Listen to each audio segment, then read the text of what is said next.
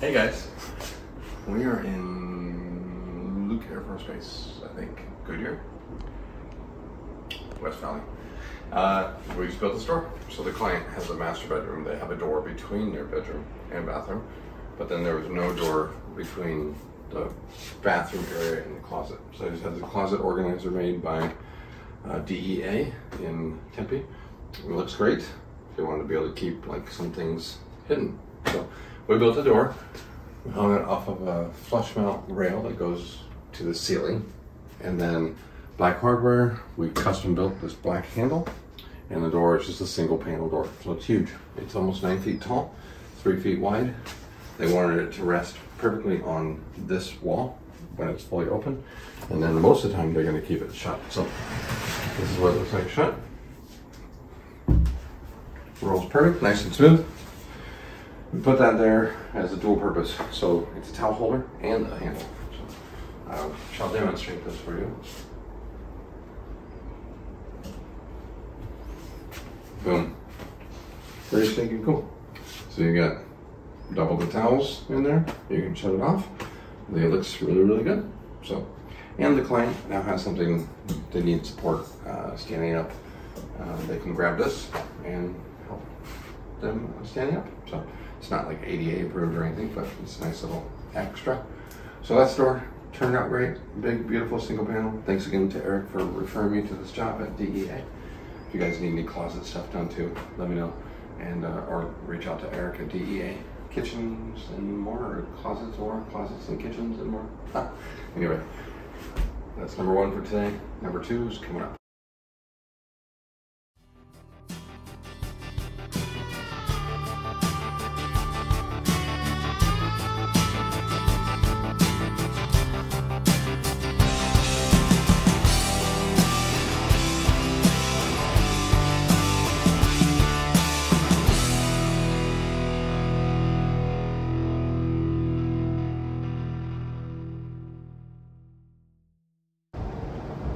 Guys, welcome to Peoria, Arizona.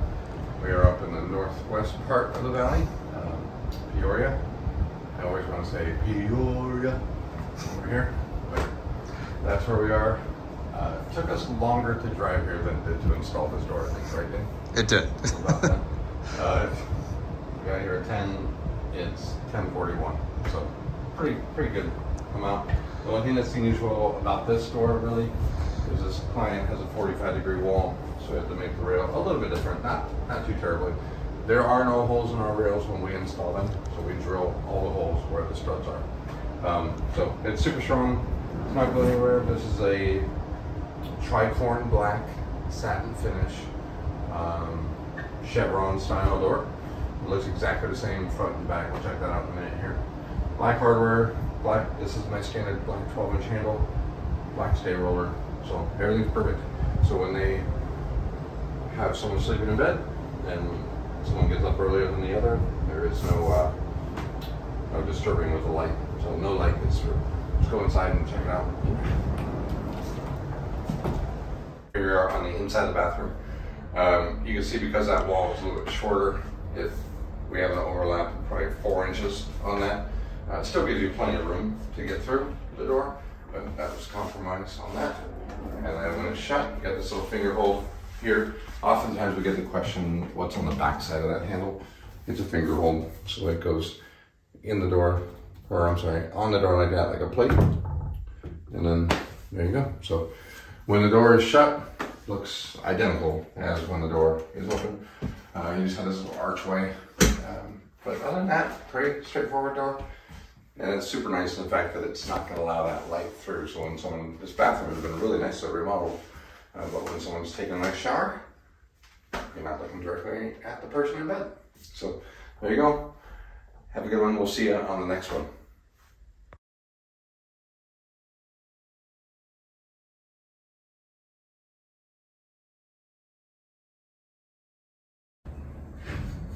Hey guys, welcome to Phoenix. We just did this set of steel doors and they turned out great. Um, a couple steel sliding doors here. We do a lot of the interior mount doors that bypass each other. This client wanted something that was gonna give him a bigger opening and be able to kind of take up this whole wall. So what we did, the distance on this wall and this wall are not the same. So we had to work off of this one. So we basically set the stopper so this door is fully open and then we equaled it out on this side. So doesn't fully open on this side, but then it gives a balance, um, which I like the symmetry of it being balanced. There is a flange on this side. The client opted to have the flange on the inside rather than the outside on this. We welded on four handles. So when the door is shut, so